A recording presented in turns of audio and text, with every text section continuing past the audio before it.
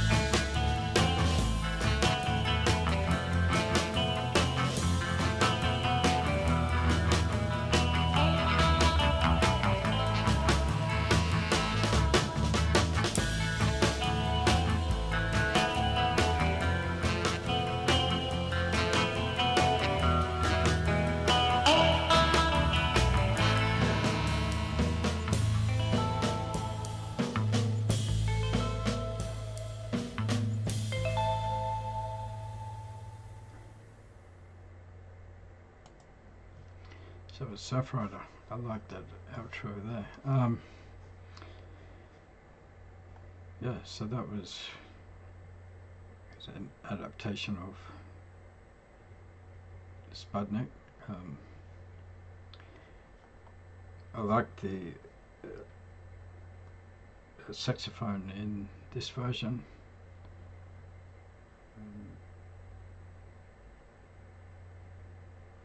For me, a lot of uh, surf music is about the guitar and the drums. Uh, the bass in this one sounded to me more uh, prominent than in the uh, Spudnik uh, by the Ventures. Um, yeah, I probably think I probably prefer this version than the Ventures Spudnik.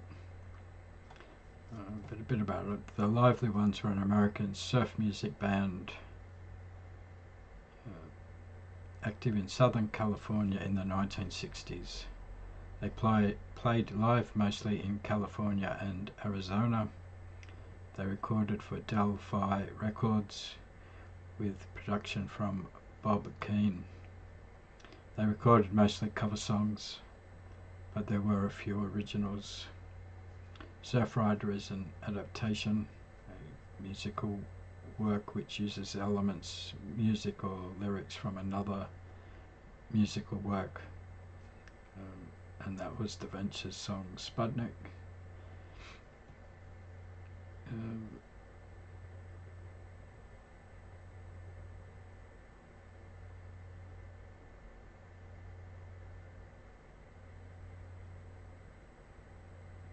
their 1963 song Surfrider, written by uh, Nokie Edwards from The Ventures was featured in the final sequence as well as the end credits of Quentin Tarantino's 1994 film Pulp Fiction.